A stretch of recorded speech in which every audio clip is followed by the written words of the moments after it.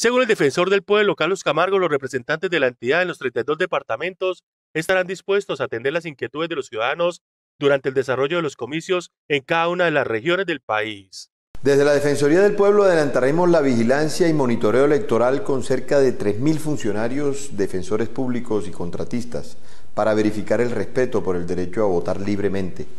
Reiteramos el llamado para rodear a la institucionalidad colombiana, dado que en las últimas semanas se han adelantado todas las gestiones necesarias para garantizar que el proceso electoral responda con certeza y seguridad a la decisión de los votantes en las urnas. Por su parte, el registrador Alexander Vega Rocha reiteró que la institución tiene todo dispuesto y están dadas las condiciones y garantías para la celebración del certamen democrático. Esta segunda vuelta presidencial junto a la primera vuelta ha sido la elección más observada desde el punto de vista de misiones de observación